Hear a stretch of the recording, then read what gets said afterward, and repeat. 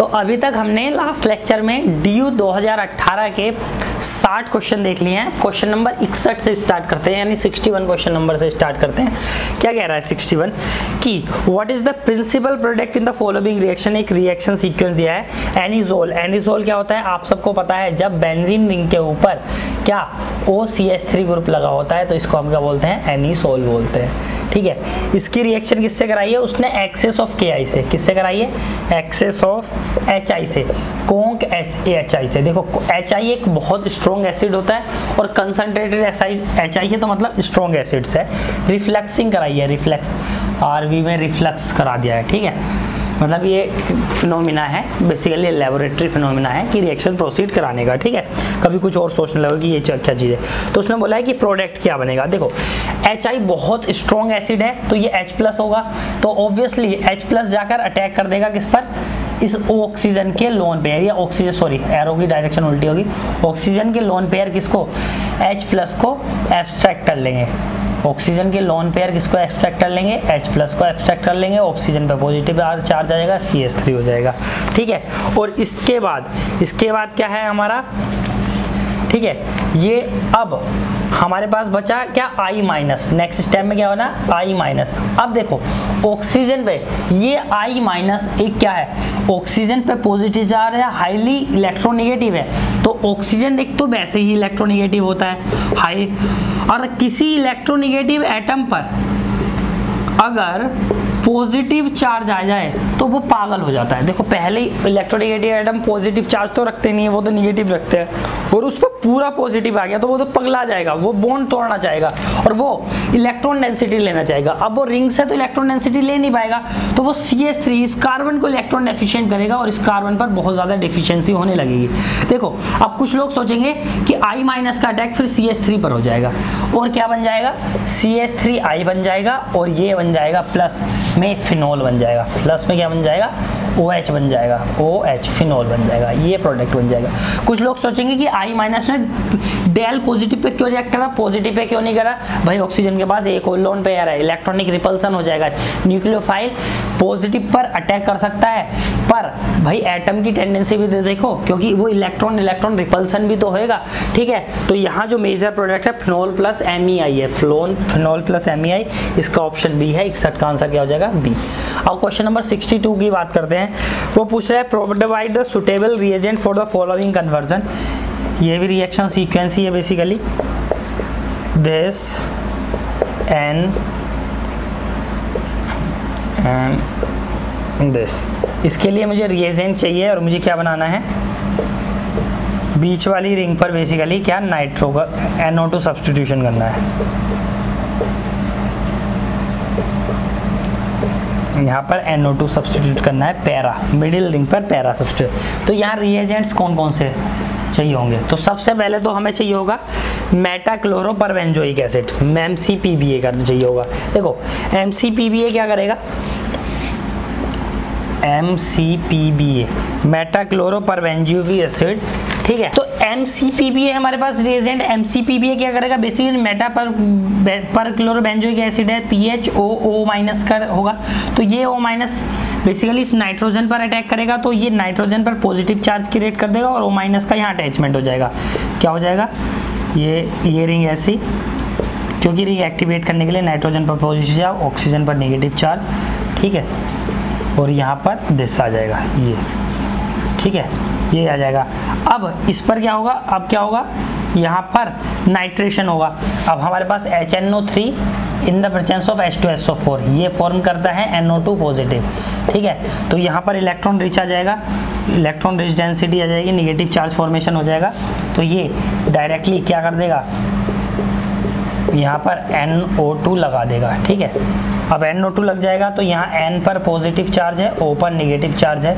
अब इस O के निगेटिव चार्ज को क्या करेंगे? एक PCl3 कंपाउंड लेंगे, जो O का माइनस P पे करेगा और POCl3 बना देगा। क्या बना देगा? माइनस POCl3 बना देगा। और ये बॉन्ड ये इधर चला जाएगा, ये बॉन्ड नाइट्रोजन के पॉजिटिव को ख़त्म कर देगा। इसकी तीसरी रिंग में बना लेना, ठीक है? और आगे क्या होगा? ये जो मुझे फाइनल प्रोडक्ट है, मेरा प्रोडक्ट वो वाला मिल जाएगा। तो इसके लिए सुटेबल रीजन क्या है? M C P B H N O three in the of H two S O four और पी सी एल थ्री तो सिक्सटी टू का जो आंसर है, वो है मेरा ए बात करते हैं हम हम question number sixty three question number sixty three rearrangement of carbocation का क्वेश्चन है। बेसिकली ध्यान से देखेंगे। फाइव मेंबर रिंग है, इस पर एक एक्स्ट्रा कार्बन इधर पीएच लगा है, इधर भी पीएच लगा है, ये ओ OH लगा है, एक ओ OH लगा है। बेसिकली पिनाकोल है एच प्लस है। अब एच प्लस क्या काम करेगा? एच प्लस अटैक करेगा, ऊपर ओ OH का लोन पेयर अटैक कर लेगा। ये वाला ओ OH ज़्यादा इलेक्ट्रॉन रिच है, क्योंकि ये एक टर्सरी ये इस पर दो पी एच रिंग का क्या है? कंजुगेशन है बेसिकली ये मान सकते हैं कि ये दो पी एच रिंग डोनेशन है, ठीक है? तो ये वाला ज़्यादा इलेक्ट्रॉन रिच है, इसलिए ये ओ OH वाला एच प्लस पे जल्दी अटैक करेगा इसके कंपैरिजन में। तो ये क्या बन जाएगा? पाँच मेंबर रिंग इस पे लगा हुआ ओ एच यहाँ पर पी एच यहाँ पर पी एच और यहाँ पर ओ एच टू पॉजिटिव अब यहाँ से ओ एच टू निकल जाएगा तो यहाँ कार्बोकेटाइन आ जाएगा। तो अगले स्टेप में क्या होगा? ये पाँच मेंबर रिंग इससे लगा ओ एच यहाँ पर कार्बोकेटाइन इससे लगे हुए दो P H and P H P H and P H ठीक है? और यहाँ कार्बोकेटाइन अब इस कार्बोकेटाइन को देखो। देखो, ये कार्बोकेटाइन को क्या हो? जाएगा सबसे ज़्यादा जो स्टेबल करती है कार्बोकेटाइन को, वो लोन पेयर करता है। सबसे ज़्यादा स्टेबल क्या करता है? कार्बोकेटाइन को लोन पेयर उसके बाद प्लस एम उसके बाद की बात करूँ मैं तो प्लस एच उसके बाद की बात करूँ तो प्लस आई ये स्टेबिलिटी होती है। अगर ये कार्बोकेटाइन यहाँ की जगह यहाँ आ जाए तो इसको डायरेक्ट ऑक्सीजन के लोन पेयर का क्या मिल जाएगा? बैक बॉन्डिंग मिल जाएगी। क्या मिल जाएगी? बैक बॉन्डिंग और ये हाईली स्टेबल हो जाएगा। तो यहाँ आने के लिए ये क्या होगा? रिंग एक्सपेंशन होगा। क्या होगा? रिंग एक्सपेंशन होगा। कैसे? कि ये वाला बॉन्ड उठकर यहाँ चला जाएगा और ये कार्बोकेटाइन यहाँ जाएगा। तो अगले स्टेप में क्या होगा? पाँच मेंबर रिंग किसमें कन्वर्ट हो जाएगी? दिस और ये वाला जो बॉन्ड था मेरा। ये वाला बॉन्ड ये डायरेक्टली यहाँ लग जाएगा, इससे पीएच लगा है, इससे पीएच लगा है, ठीक है? और ओ OH किससे लगा है? इससे ऊपर वाले से ओ OH लगा है, और कार्बोकेटाइन कहा जाएगा? ओ OH वाले पर कार्बोकेटाइन आ जाएगा। ओ OH वाले पर कार्बोकेटाइन आ जाएगा तो लोन पेयर बैक डोनेशन करके इसको डबल बॉन्ड में कन्वर्ट कर देंगे। ये बेसिकली सिक्स मेंबर रिंग बन जाएगी। यहाँ पर पीएच लगा है, यहाँ पर पीएच लगा है और यहाँ पर डबल बोन ओ आ जाएगा। तो ये इसका फाइनल प्रोडक्ट बन जाएगा और इसका जो मेजर प्रोडक्ट है सिक्सटी का, वो बी है। रीअरेंजमेंट ऑफ़ कार्बोकेटाइन का क्वेश्चन है रिएक्टिव इंटरमीडिएट से। ऐसा क्वेश्चन दोबारा भी रिपीट होगा। 101 परसेंट रिपीट होगा गारंटी है इंपॉर्टेंट है 63 ठीक है, अब बात करते हैं कि 64 की, वो भी क्या? रिएजेंट बेस्ड है रिड्यूसिंग रिएजेंट्स की बेस्ड है एक बेसिक प्रॉपर्टी पर बेस्ड है। बचपन से ट्वेल्थ क्लास में रिएक्शन पढ़ते हैं केसीएन और एजीसीएन की रिएक्शन का डिफरेंस केसीएन में आयनिक करेक्टर होते हैं और एजीसीएन में कोबलेंट करेक्टर ज़्यादा होते हैं, ठीक है? तो आओ क्वेश्चन नंबर 64 को देखते हैं। 64 क्या कह रहा है? आर सी एल है रिएक्ट कर रहा है के सी से। ठीक है, पहला है और दूसरा रिएक्ट कर रहा है L I A L H four से। के L I A L H four lithium aluminium hydride तो रिड्यूसिंग एजेंट है। के सी एन एक आयनिक है। क्या है? के सी एन में आयनिक करेक्टर ज़्यादा होते हैं। और अगर मैं आर सी एल की जी सी रिएक्ट कराऊं तो इसमें क्या होते हैं? इसमें कोवलेंट करेक्टर ज़्यादा होते हैं। इसका रीज़न क्या होता है? जब के सी कोई भी क्या एल्काइल हेलाइड रिएक्ट करती है तो वो आर सी एन बनाती है। मतलब बेसिकली सिंपली नाइट्राइल बनाती है, बोल दूँ साइनाइड बनाती है। मिथाइल साइनाइड बनाएगा। क्या बनेगा? मिथाइल साइनाइड बनेगा। पर जब वो ए जी सी एन से रिएक्ट करती है, ठीक है, इसमें रिड्यूसिंग एजेंट वही दिया है RCl से AgCl रिएक्ट करता है, तब ये RNC बनाता है, यानी मिथाइल आइसोसाइनाइड बनाता है। क्या बनाता है? मिथाइल आइसोसाइनाइड इंपॉर्टेंट है, इस बात को याद रखेंगे स्टार लगा लेंगे, बिल्कुल, चाँद सितारे लगा लेंगे, ठीक है? क्या बन जाएगा? ये RNC बन जाएगा। अब यहाँ यही डिफरेंस हो गया, एक में तो मिथाइल साइनाइड बन रहा है, एक में मिथाइल आइसोसाइनाइड बन रहा है। आगे जाके दोनों रिड्यूस हो जाएँगे, ठीक है? क्योंकि L I basically reducing agent है तो जनरली दोनों को ही क्या करेगा? रिड्यूस करेगा। तो इसमें ये basically R C triple bond N होगा ना तो रिड्यूस कर देगा R C H two N H two में। और ये R N triple bond C होगा तो रिड्यूस कर देगा आर एन एच ठीक है? सी एच थ्री में बेसिकली ये ये रिडक्शन हो जाएगा. अब ये दोनों, इन दोनों आपस में क्या कहलाए जाते हैं? देखो, ये दोनों सेम फॉर्मूला यूनिट है आइसोमर्स हैं और ऐसे आइसोमर्स को जो फंक्शनल ग्रुप के डिफरेंस पर चेंज होते हैं, इनको हम मेटामर्स बोलते हैं. क्या बोलते हैं? मेटामर्स बोलते हैं कि फंक्शनल ग्रुप जो this is primary amine it is secondary amine primary amine है वन डिग्री अमाइन है it is two degree amine secondary amine है, ठीक है? तो प्राइमरी अमाइन और सेकेंडरी अमाइन आपस में क्या होते हैं? एक दूसरे के मेटामर्स होते हैं। तो 64 का आंसर क्या हो जाएगा? ए हो जाएगा। अब बात करते हैं क्वेश्चन नंबर 65 की। क्वेश्चन नंबर 65 में क्या बोल रहा है? ये भी बहुत सारा रिएक्शन सीक्वेंस दे रखा है उसने which of the following is basically organometallic reagents की बात है इसमें? Double bond O M E M E M E ठीक है? उसने दिया है C S three M G B R in the presence of C U C L zero point zero one equivalent और लास्ट में क्या डाइथाइल ईथर डाल दिया। देखो, सबसे पहले ये रिएजेंट जो C H three M G B R होता है, ये ये होता है स्ट्रॉन्ग ऑर्गेनोमेटलिक रिएजेंट पर इसकी reaction C U C L से होने के बाद ये क्या फॉर्म करने लगता है? ये फॉर्म करता है C U C H three C U B R basically क्या फॉर्म कर लेगा? C S three C U B R C S three minus B R minus और C U two plus basically तो सी ये क्या हो जाता है? ये B organometallic O M C O M R हो जाता है बी ऑर्गेनोमेटलिक रिएजेंट हो जाता है। मतलब स्ट्रॉन्ग ऑर्गेनोमेटलिक रिएजेंट में जो आर माइनस ग्रुप होता है, वो डायरेक्ट कार्बोनिल के कार्बन के सेंटर पर अटैक करता है। पर जो बी को बेसिकली बी को ऑर्गेनोमेटलिक रिएजेंट होते हैं, वो जैसे सीयू के रिएजेंट होते हैं, क्योंकि ट्रांजिशन मेटल का रिएजेंट है। ट्रांजिशन मेटल का रिएजेंट है ऑर्गेनोमेटलिक तो ट्रांजिशन मेटल वाले कंजुगेटिवली साइड पर अटैक करते हैं। देखो, क्योंकि ये कंजुगेशन में होगा ऐसे तो यहाँ पर भी डेल पॉजिटिव आ रहा होगा।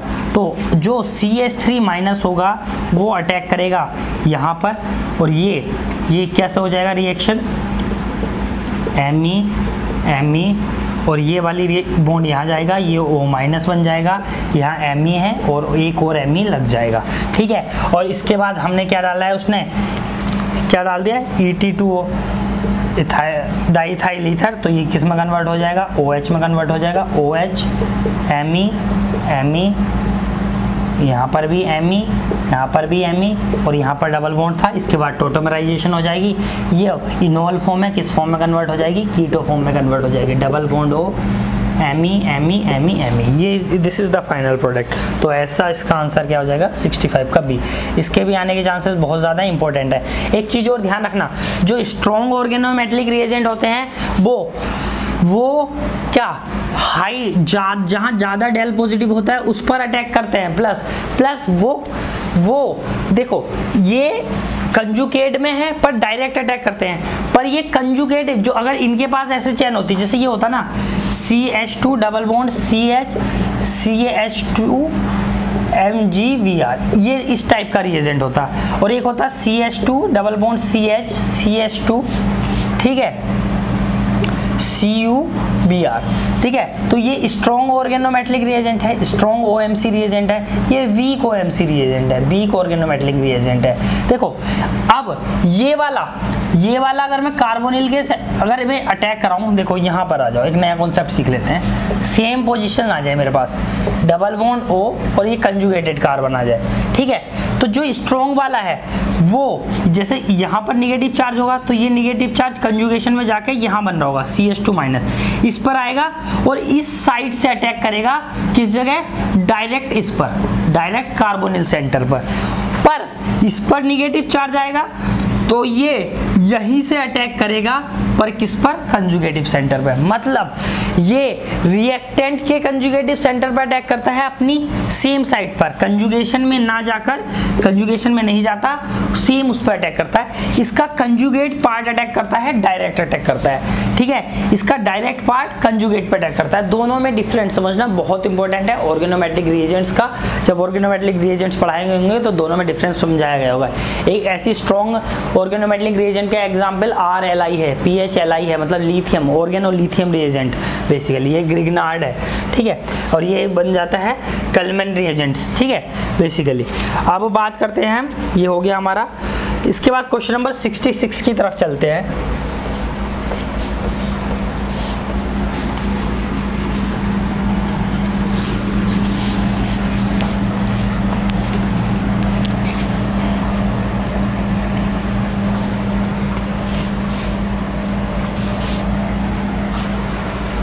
क्वेश्चन नंबर 66 देखते हैं। 66 क्या बोल रहा है?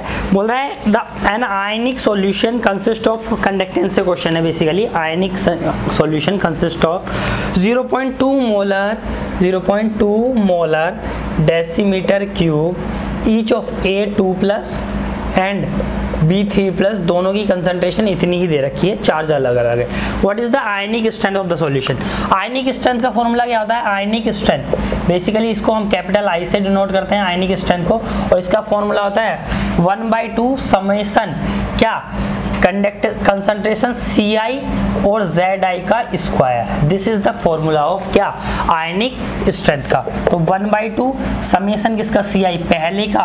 पहले की कंसंट्रेशन तो सेम है ज़ीरो पॉइंट टू चार्ज कितना है? प्लस टू प्लस टू का स्क्वायर प्लस दूसरे की कंसंट्रेशन क्या है? वही है 0.2 पर चार्ज कितना है? प्लस थ्री का square this is the ionic conductivity आ जाएगी।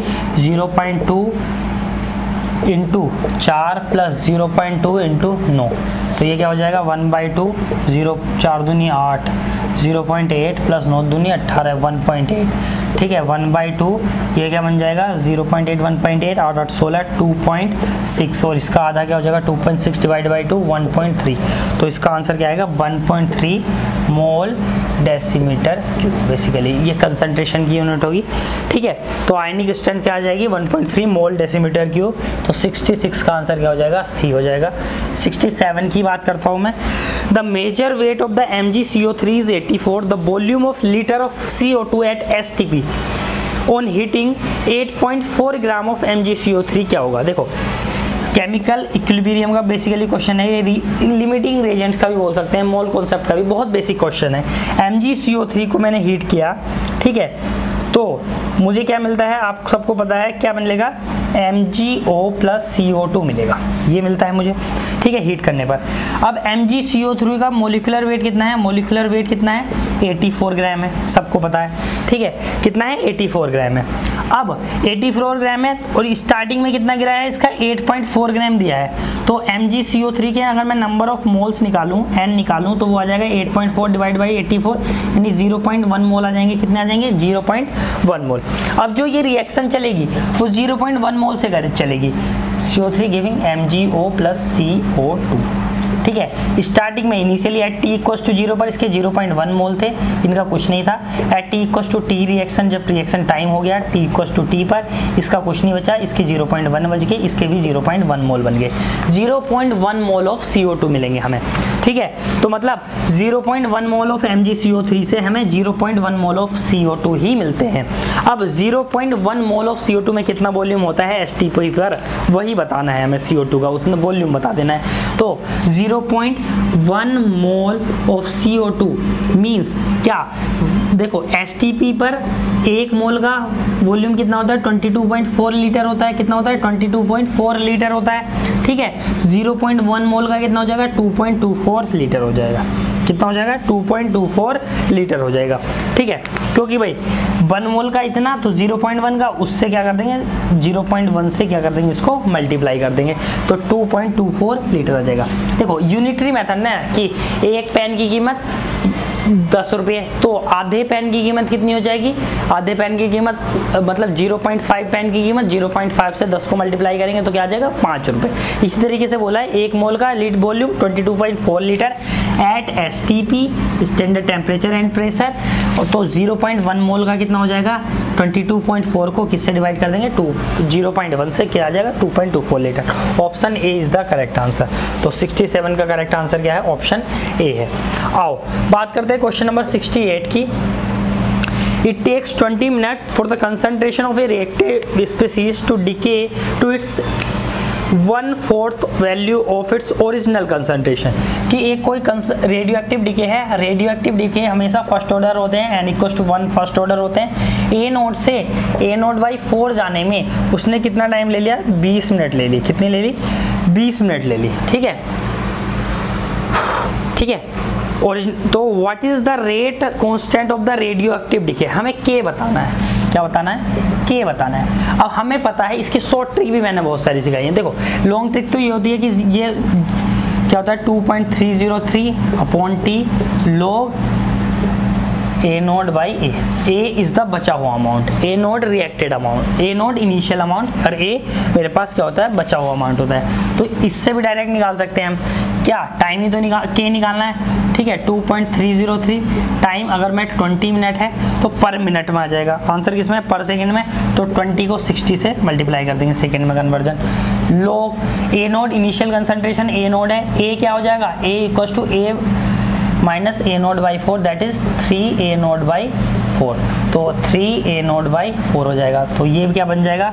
Two point three zero three upon twenty into sixty log four A naught से A naught four by three तो इसकी जो सब सोल्व करके वैल्यू निकालेंगे तो की की वैल्यू आएगी zero point zero zero one one five five second inverse तो इसका ऑप्शन क्या हो जाएगा? हमारा जो आएगा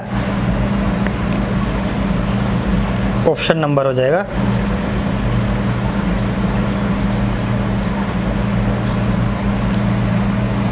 आ जाएगा 68 का दिया जाएगा। सॉरी सॉरी इसमें हमें क्या दिया है? ए की value he one by A naught by four दी है कि बचा हुआ माइंड ही वन बाई फोर है। ए नोट बाई फोर ही आ जाएगा ठीक है? तो ये क्या हो जाएगा? लोग फोर की वैल्यू हो जाएगी this is zero point zero zero one five five ठीक है? इन्हें रिमेनिंग अमाउंट दिया है कि डी होने के बाद one fourth value of its original concentration की रिमेन रहता है वो डिके टू इट्स अपने वन फोर्थ के वैल्यू तक डिके होता है। ठीक है? यानी ए नोट ए बचा हुआ अमाउंट क्या है हमारा? A equal to A naught by four ही है। ये क्या है? ए नोट बाई फोर ही है बस वही पुट करना था और इसका डायरेक्ट आंसर मिल जाएगा। ठीक है? इसकी एक शॉर्ट ट्रिक और होती है, वो सीख लेते हैं। देखो, क्या होता है? हम लोगों को पता है first order reaction A naught से ए नोट बाई टू कितने में जाती है? टी हाफ़ में। ठीक है? और ए नोट बाई फोर कितने में जाती है? अगले टी हाफ़ में। तो two T half is equal to कितना? जो total time two T half equal to कितना? मतलब कितना टाइम हो गया? बेसिकली ट्वेंटी मिनट ठीक है? तो टी हाफ़ कितना आ जाएगा? टेन मिनट आ जाएगा। टी हाफ़ कितना आ जाएगा? टेन मिनट आ जाएगा। टी हाफ़ कितना आ जाएगा?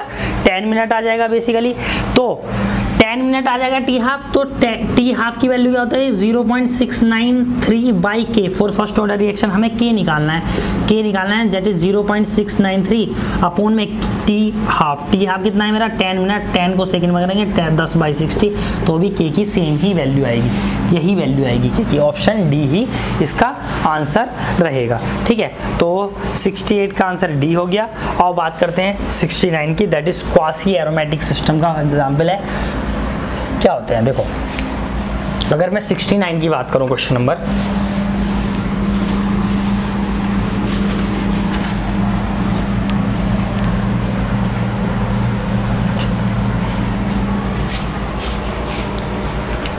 क्वेश्चन नंबर 69 की बात करते हैं 69 में बोल रहा है कि which of the following have the having the maximum dipole moment देखो, जो वाला, जो डबल बॉन्ड बीच में, ये क्वासी एरोमेटिक सिस्टम की बात होती है।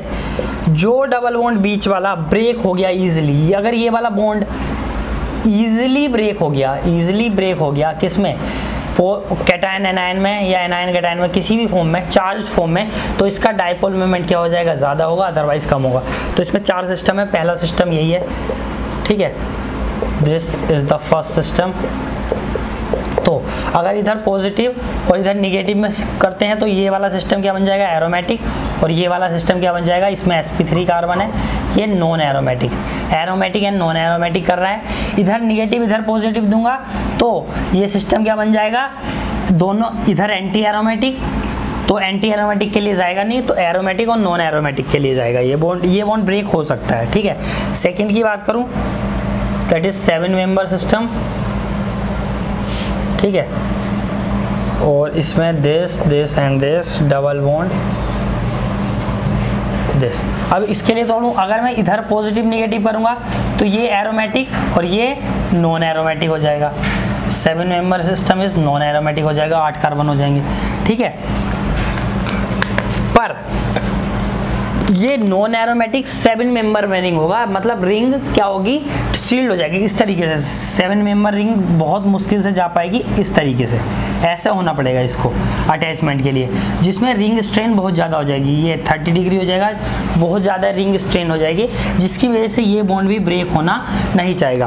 पर थर्ड ऑप्शन की अगर मैं बात करूँ और रिवर्स चार्ज तो दे ही नहीं सकते क्योंकि उसमें तो ये एंटी एरोमेटिक बन जाएगा, ये निगेटिव और ये पॉजिटिव में ये एरोमेटिक बनेगा तो पर ये तो एंटी एरोमेटिक बन जाएगा। तो जब तक दोनों, एक नॉन एरोमेटिक या एरोमेटिक ना बने, तब तक तो बॉन्ड ब्रेक होने के कोई चांसेस ही नहीं है। ठीक है? ये पाँच मेंबर सिस्टम है। ठीक है? तो पाँच मेंबर सिस्टम में अगर ब्रेक करेंगे तो एक anti aromatic aromatic anti aromatic बनेगा, एक एरोमेटिक बनेगा। तो ये बॉन्ड भी ब्रेक नहीं होगा। ठीक है सेम बात करते हैं हम किसकी? फोर्थ वाले की फोर्थ वाले में भी। अगर इसको ब्रेक करेंगे पॉजिटिव नेगेटिव में तो एक एरोमेटिक बनेगा, एक एंटी एरोमेटिक बनेगा तो ये भी बॉन्ड ब्रेक नहीं होगा। बेसिकली बी और ए का कंपैरिजन है। ए वाला इजिली ब्रेक हो जाएगा, क्योंकि इसको नॉन एरोमेटिक होने के लिए भी कोई रिंग स्ट्रेन झेलनी नहीं पड़ेगी। कोई भी रिंग स्ट्रेन को झेलना नहीं पड़ेगा। जबकि इसको रिंग स्ट्रेन को झेलना पड़ेगा तो सबसे ज़्यादा जो डायपोल मोमेंट होगा वो फ़र्स्ट वन का होगा। तो 69 का आंसर क्या है? फ़र्स्ट वन यानी ए है। 69 का आंसर क्या है? ए है। अब क्वेश्चन नंबर 70 की बात करते हैं। What is the likely product to the for product of the reaction सोन एक रिएक्शन सीक्वेंस है, उसका प्रोडक्ट पूछा है। This is the reaction M E below the plane H above the plane ठीक है? एम ई है डबल बॉन्ड है. B R two in the presence of methanol है. ठीक है? तो सबसे पहले क्या होगा? इसमें क्या बनेगा? देखो, दो टाइप के कार्बोकेटाइन होते हैं. क्लासिकल नॉन क्लासिकल कार्बोकेटाइन बनेगा. नॉन क्लासिकल कार्बोकेटाइन कैसे बनेगा? इस तरीके से. दिस इज़ कार्बोकेटाइन बन जाएगा. ठीक है? एम ई अब द प्लेन और बिला द प्लेन एम ठीक है? अब होगा क्या इसमें? यहाँ पर ब्रोमीन जुड़ेगा नॉन क्लासिकल कार्बोकेटाइन के थ्रू अब ब्रोमीन किस डायरेक्शन में खुलेगा? ब्रोमीन का भाई, ये एच का बॉन्ड है, ठीक है? और दूसरा हमारे पास क्या है? एम ई ओ एच है। अब मीथेनॉल भी तो है एम ई ओ एच है। अब ये हमारे पास न्यूक्लियोफाइल है। बेसिकली क्या है? ये हमारे पास न्यूक्लियोफाइल है। अब न्यूक्लियोफाइल क्या करेगा? देखो ये जो ब्रोमीन बनेगा, ये नॉन क्लासिकल कार्बोकेटाइन बनेगा, वो लेस इंडर्ड साइड बनेगा। और लेस इंडर्ड साइड कौन सी है? अब अब द प्लेन वाली, क्योंकि सी एस थ्री और एच में कौन सा कौन सा लेस इंडर्ड है? एच लेस इंडर्ड है। तो ये जो कार्बोकेटाइन बनेगा, ये मेरा बनेगा अब अब द प्लेन की तरफ़। अब ये खुलेगा कैसे? ये O M E minus attack करेगा और ये अब अब द प्लेन की तरफ़ खुल जाएगा। अब ओ एम ई माइनस इसके अपोजिट प्लेन से अटैक करेगा। तो देखो, ये क्या होगा? M E below the plane H above the plane ठीक है? और यहाँ पर एम ई अब द प्लेन चला जाएगा, क्योंकि ओ एम ई जो आएगा, वो बिलो द प्लेन आएगा और जो मेरा बी आर है, वो क्या हो जाएगा? अब द प्लेन हो जाएगा और यही मेरा क्या हो जाएगा? फाइनल प्रोडक्ट हो जाएगा। तो मतलब बी आर और एम ई की स्टीरियो सेम होएगी। बी आर और ओ एम ई की स्टीरियो अपोजिट होएगी। बी आर और एम ई की स्टीरियो सेम देखनी है। मेनली देखनी है इन दोनों की स्टीरियो बी आर और एम ई की स्टीरियो क्या होनी चाहिए? सेम होनी चाहिए। और बी आर और एम ई की स्टीरियो सेम होनी चाहिए और यहाँ पर दूसरा प्रोडक्ट ओ एम ई लगा होना चाहिए। ओ एम ई लगा होना चाहिए, ना कि बी आर लगा होना चाहिए। तो बी और डी में बी आर और एम ई की स्टीरियो सेम है, पर यहाँ पर ओ एम ई की जगह डी में क्या लगा है? बी आर जो कि नहीं लगेगा बी आर सिर्फ़ एक ही लगेगा। तो इसका 70 का जो आंसर है, वो बी हो जाएगा। This is the B B option है। उसमें यहाँ स्टीरियो रिवर्स कर रखी है। नहीं नहीं, सही है। H M E below the plane इन दोनों की रिवर्स कर रखी, उससे कुछ फ़र्क नहीं पड़ता क्योंकि मोलिक्यूल को 90 डिग्री रोटेट कर दोगे तो सेम है। 70 का आंसर बी है। This is the major product है। मेनली इन दोनों की स्टीरियो देखनी है सेम आनी चाहिए, ठीक है? तो यहाँ तक हमारे 70 क्वेश्चन हो गए। ये भी इंपॉर्टेंट क्वेश्चन है भाई, आ सकते हैं। ऑर्गेनिक के ऐसे क्वेश्चन आने के चांसेस रहते हैं क्योंकि बस कॉन्सेप्ट पता होना चाहिए ट्रिकी क्वेश्चन होते हैं। देखिए, यहाँ तक सत्तर क्वेश्चन हमारे पूरे हो गए हैं।